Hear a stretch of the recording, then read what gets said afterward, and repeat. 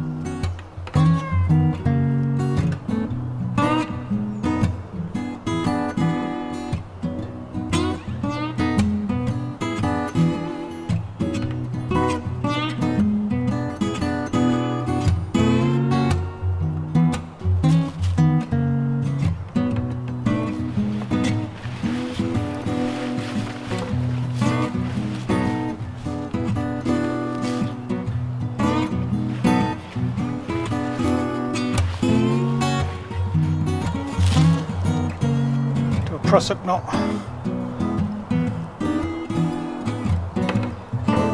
I to wrap it around three times. I've showed you this on the um, on Bushcraft Knots video, so you can check it out there. I'll put a link to it at the at the bottom in the description. But,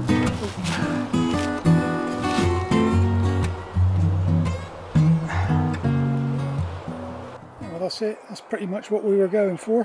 So I've got part of a bed in here.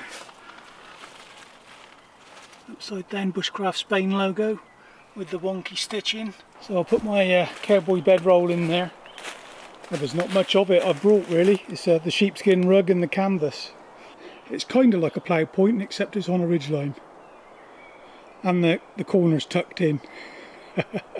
You watch the fire while I go and get some wood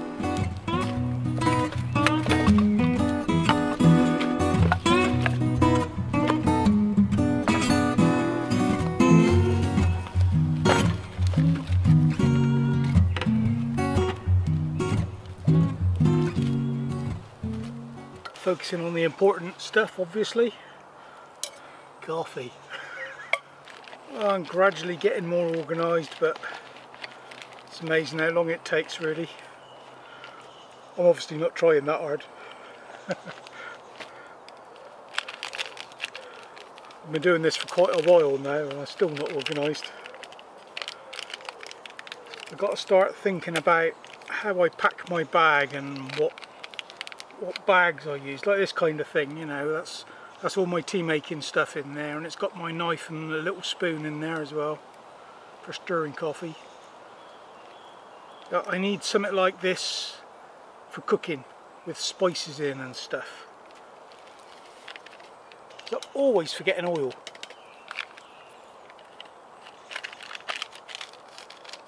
I bought butter this time and oil so I got it covered but I usually forget the oil. Oh, oh so excuse all the sweatiness and that. I've had a bit of a hard day today. I had to drop a tree. It's a birch tree. It was leaning over my brother's camp and it's hung up in another birch tree and the bottom's completely rotten. So I'd rather take it down now than have it come down when we're not expecting it. And birch, yeah, Lots of spoon and bowl carving wood. Ooh.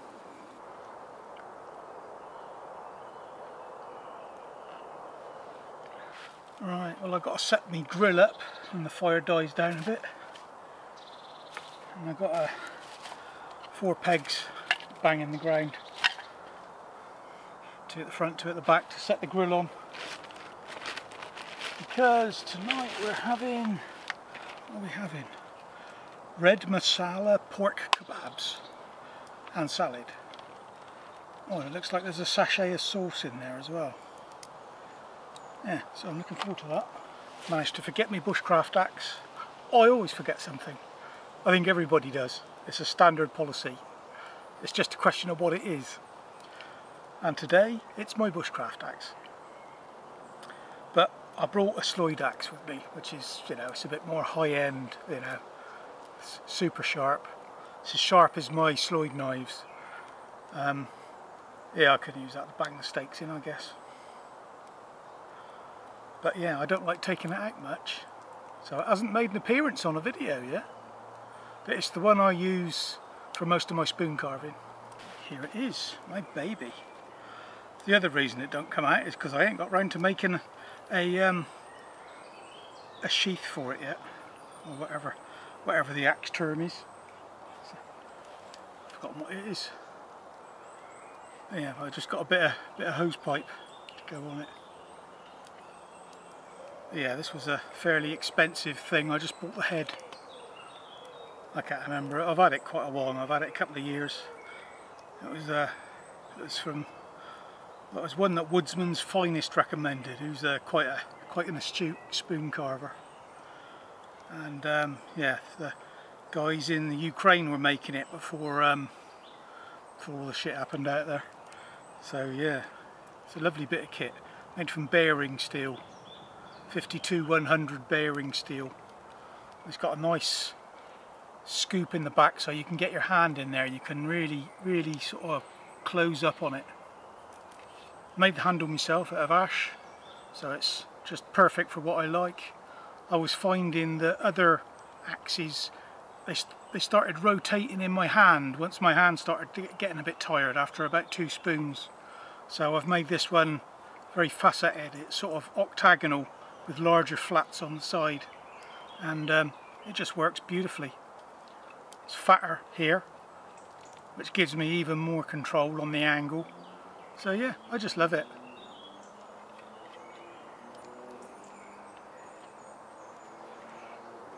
You're lucky to get to see this. It really comes out of the workshop. Well I think we're about ready.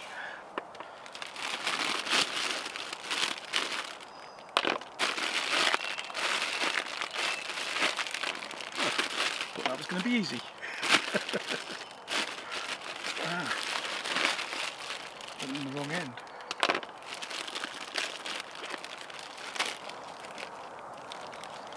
Yeah, still on keto obviously. With protein and fats. Smidging of cashews.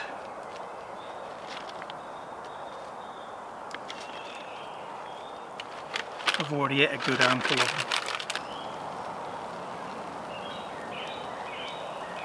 Yeah, I'm losing a lot of it.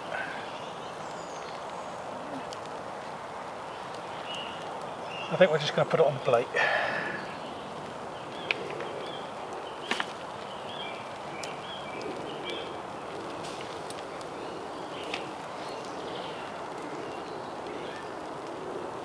And we'll leave the other two. Right, I've got to give a couple of shout outs before I eat my tea. I want to give a mention to Badger and the Woodsman He's uh, challenged me to a one day bow at a hazel. So uh, he's shot a target from seven yards, so I've got to beat it. So we'll see what we can do. But yeah, he's all into bows at the moment. So yeah, take him, give him a look. Uh, it's Badger and the Woodsman. And the other guy, guy is Radar Base. To give him a mention as well. He's, he's got a fantastic channel and doesn't get many views. He's in Newfoundland in Canada and he's got fantastic scenery. It just baffles me. It just baffles me why nobody's looking at his channel. And he's got some great content as well. So yeah, take a look at them two people. See what you think.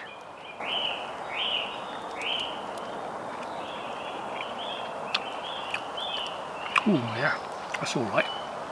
A cocoa and off to bed I guess. Yeah, I know cocoa's got sugar in it, but what are you going to do? I do like my cocoa in the woods.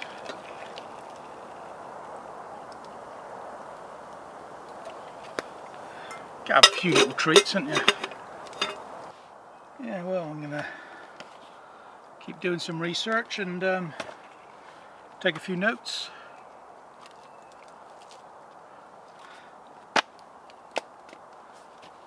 And we'll see you in the morning. Morning. I suppose I'd better be getting up. Up past six.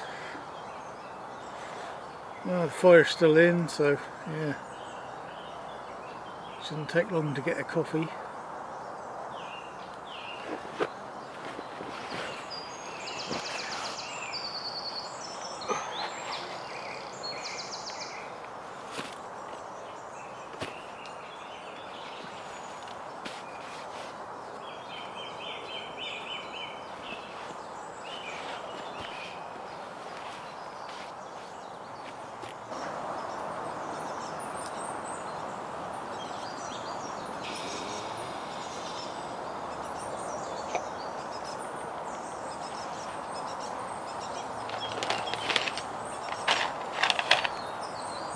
So what have we got today? Bolivia Arcangel from an anaerobic washed red Caturra. Think a chocolate malted milkshake. It's super creamy with a subtle malty sweetness mixed with milk chocolate. A hint of chocolate orange only adds to the great balance of this coffee. Wow. So mainly chocolate there see, can we get chocolate?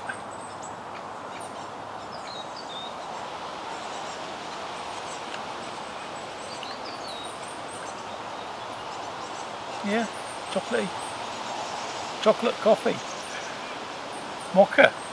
We're having some kind of chili. So there's mince in here, half a pepper, two mushrooms, half an onion, half of a hot pepper, and I'm going to have oh smoked out half a tin of chopped tomatoes and half a tin of beans. That's, that's it really. I mean I was going to have salad with it but I think it's going to be too much. So I'm just going to have it on its own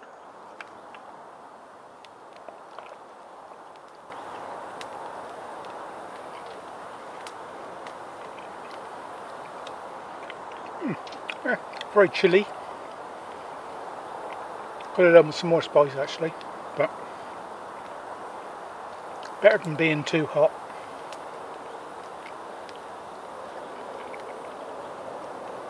Well, I'm going to be having an early one tonight. Got very little sleep last night and I'm knackered. I've had a really busy day chainsaw decided to stop working. So I had to abort the bowl horse. I'll have to do that another time.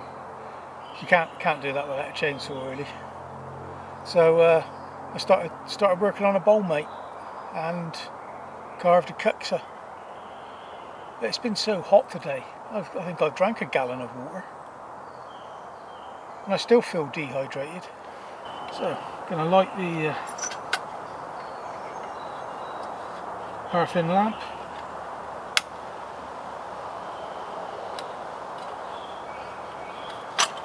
And I'm gonna let the fire go out because I don't need it for. But I like to have a little bit of light on. So yeah, see you in the morning.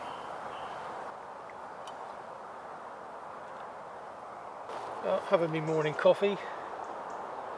Didn't bother lighting the fire, I just did it on the mess stove. As uh, I'll be heading off fairly soon I think, so I'm going to take the tarp down and um, hang out my bed in on the uh, on the line there, on the ridge line. Let air a little bit. Not that I've got much to air, but it's just me um, sheepskin rug and a little thin blanket underneath. But yeah, been plenty warm enough. So yeah, it works fine. I think I'm, I'm guilty of uh, bringing far too much stuff usually. Aren't we all? right, so I'll pack up and then uh, get back to you. Things never seem so bad once the tarp's down.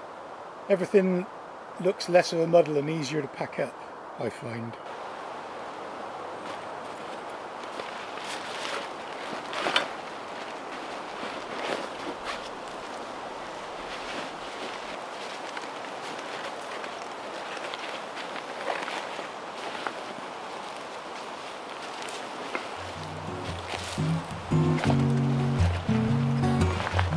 Gradually getting more organised, things have their places now.